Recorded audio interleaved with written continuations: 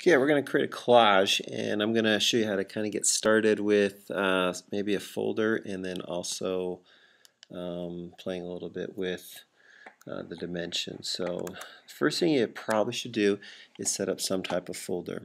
So in this folder I've got a bunch of pictures that I'm going to use uh, in here. So you can create a folder and then maybe just organize your your files. Uh, I've got more images than I need in here, which is fine, and then I can kind of cut down later. Um, once you have everything organized, then you can jump into Photoshop Elements, and if you do a File New, uh, and do from a blank file, uh, you can always choose from a number of different, I mean, you, inside there's scrapbooking dimensions you can set up, uh, so there's all kinds of um, dimensions. And the main thing is you want to know what your output is. What are you going to print it to?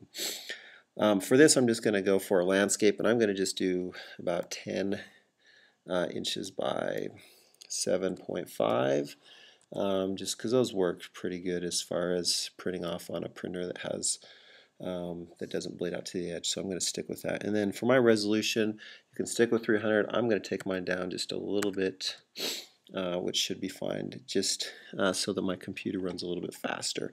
The higher the resolution, the better the quality, but also might slow down your computer a little bit. So if you're having an issue, take it down.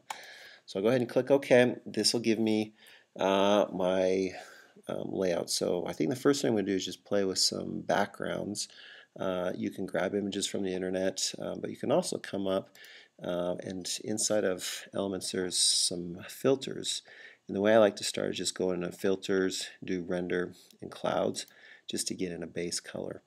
And how that starts off with is whatever these two colors are down here, that's uh, what those will come out. So if I don't want those colors, I can click in here and choose maybe a green instead and click OK and I could click on that other one below and choose a black to get me going and then I just go back and go to filter render and clouds to kind of play with some of those things. Once you get in a base color, then you just kind of keep going into there. Uh, maybe I want to play with a little bit with lighting effects.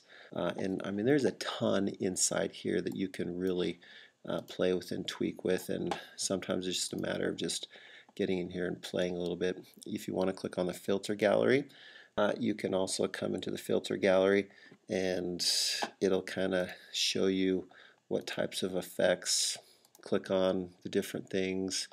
Um, when you like one, uh, then you go ahead and apply it. So say I like uh, this effect right here or one of these, uh, then you just click OK. And you can also adjust, a lot of these have different um, aspects of them where you can even change them even more.